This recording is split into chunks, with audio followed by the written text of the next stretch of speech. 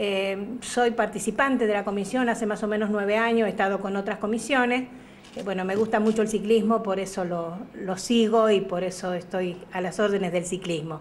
Eh, yo lo que le pido a la gente que tengan animales, como perros, por ejemplo, que por favor ese día traten de tenerlos atados y que no salgan a la calle, porque un perro que se cruce puede costar, a un ciclista le puede costar la vida, como le puede costar también alguna quebradura, algún o lastimarse la cara sobre todo, porque tengamos en cuenta de que el ciclista viene solamente mirando la parte de su manubrio de la bicicleta.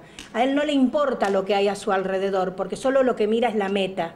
Entonces, si se cruza un perro o cualquier animal doméstico que se cruce, puede llegar a ocasionar un desastre. Por eso yo le pido a toda la gente que tomen conciencia de lo que estos ciclistas nos están brindando en ese momento. Si bien nos brindan un espectáculo maravilloso, porque es un, espectáculo maravilloso ver la cantidad de camisetas multicolores que se agitan en, la, 29 cuando toman ya la 40 hacia la 29, es un espectáculo hermoso. Aparte, eh, yo creo que no solamente nosotros como comisión o como autoridades, sino la gente que está, yo creo que se llena en el alma. Si bien este año no tenemos eh, por quién gritar que era nuestro equipo el año pasado, pero sí son participantes que están en esos equipos que han sido de nuestro equipo. Entonces también valoremos que hoy si no representan a Mercedes, están representando otro equipo, pero sí llevan en el alma también el ciclismo y llevan el ciclismo de Mercedes, por eso llegan acá a Mercedes. Entonces yo le pido a toda la gente de que colabore con este evento tan hermoso que tenemos y que tenemos la suerte de tenerlo y que tenemos la suerte de que estos ciclistas duerman en la ciudad de Mercedes, desayunen en la ciudad de Mercedes y que la municipalidad, como el secretario de Deporte, nos da la posibilidad de que esto se pueda hacer, siendo de que esto tiene un costo muy grande. Porque el abragado es una carrera que tiene un costo muy, muy grande. La gente que no está detrás de esto no sabe lo que realmente significa.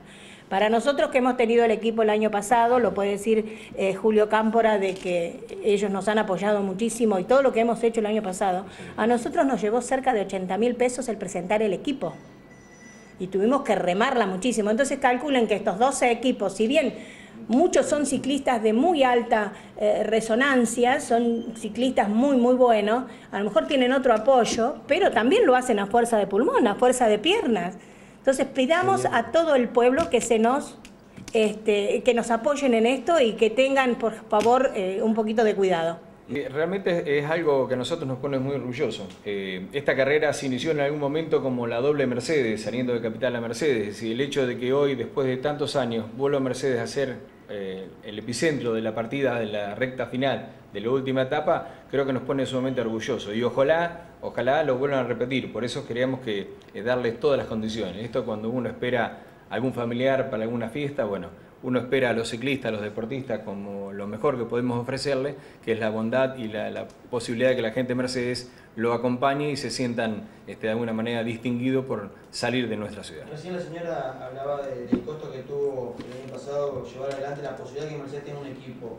Ese fue una de las, el tema económico fue uno de los puntos por los cuales no se pudo este año eh, trabajar en, el armado de un equipo? No, tal vez el problema del armado de los equipos son a veces los integrantes. El hecho de a veces de tener que conseguir integrantes de distintos niveles eh, competitivos eh, lleva un costo muy importante y de la gente de alguna manera lo sabe. Vos tenés que tener dos o tres punteros y de alguna manera todo el equipo que lo acompaña.